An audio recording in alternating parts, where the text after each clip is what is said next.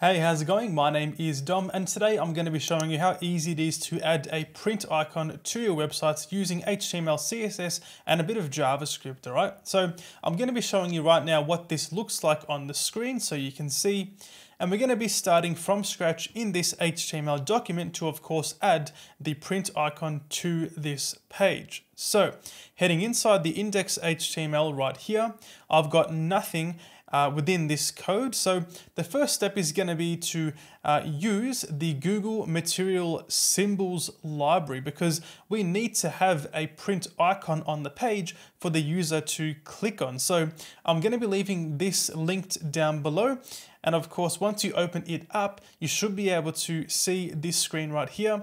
And these are all uh, open source icons for you to use on your website, um, including of course the print icon. So if I do a search for print right up here, I'll just zoom in a little bit we can see here we have all of these icons matching the keyword print and of course we want to use this print icon right here so I'll click on this one and then on the right side here uh, you should be able to see um, you've got a bunch of options for importing that on your page. So I'm going to scroll down to the static icon font.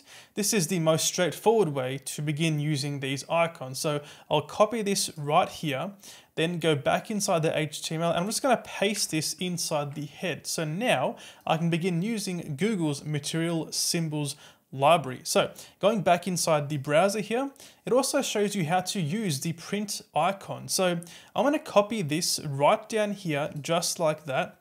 Then go back inside the HTML here and just create a new button with a type of button and a also um, a class of btn-print. Then within this button, we're going to place the icon because um, you know, ideally, you're not supposed to treat spans as buttons. So we need to wrap the span tag, which of course is the icon within a button itself. And the user is going to be clicking on the button and not the icon, if that makes sense. So um, if I was to save this here and go back in the browser, we've got this right here.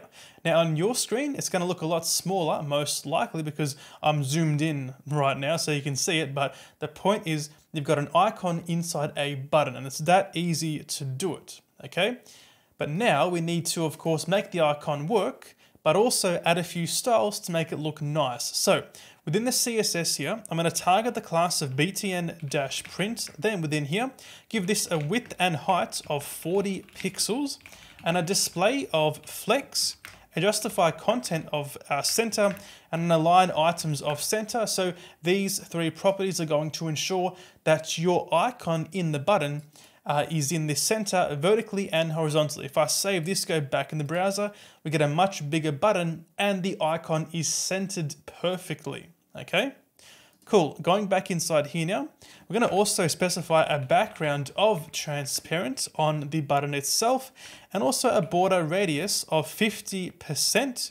Of course, we can't yet see the border radius, but we're going to see it once we hover over the button, which I'll get to very shortly.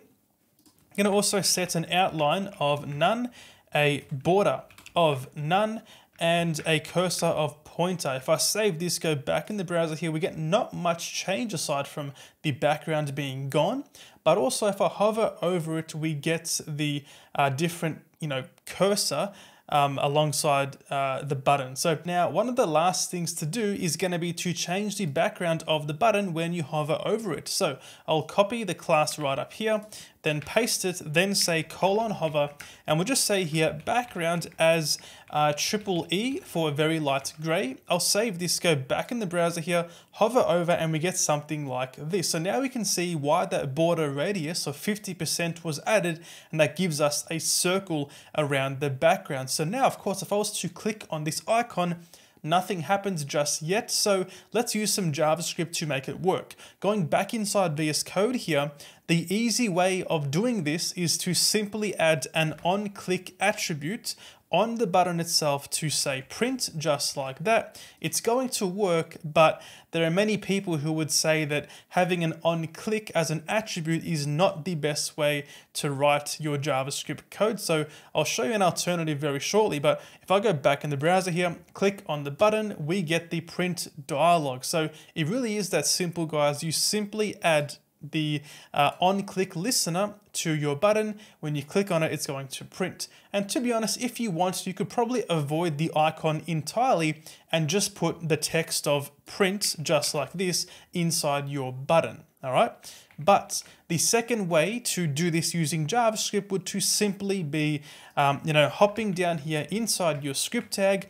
I'll just get rid of this on click right up here then say something like uh, const btn print equal to document.query selector, getting the button by its class name by saying btn-print inside here, then simply saying btn print uh, dot add event listener. When the user clicks on the button we're going to run this function which is going to simply say window.print just like that. I'll save this go back in the browser here and we can see upon clicking we get the exact same result. So of course it is up to you guys as to what you want to do. I would say, you know, stick to the uh, proper JavaScript code right down here in order to add your, uh, you know, print uh, reaction on, on the click there. So that is how to add a print icon to your websites using HTML, CSS, and JavaScript. If this video helped you out, make sure to drop a like and subscribe to the channel, and I'll see you in the next video.